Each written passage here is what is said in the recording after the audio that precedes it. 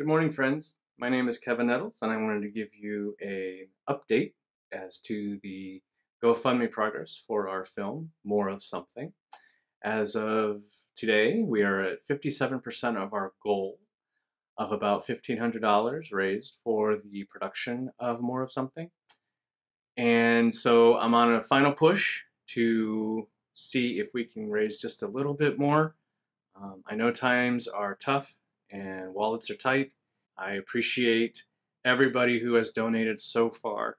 Um, My love and admiration for you cannot even be expressed in this moment. So I just wanted to take a minute to describe what More of Something is about. More of Something is about hope and the possibility that something good is coming right around the corner.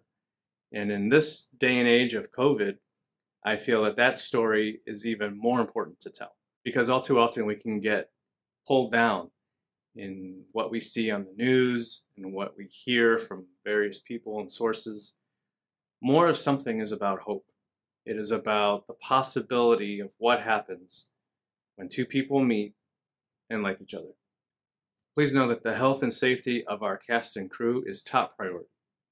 We are not going to make this movie if we feel that we cannot do it safely. Again, I cannot express in this little video my admiration and love and respect for you. Stay safe, stay healthy. Thank you.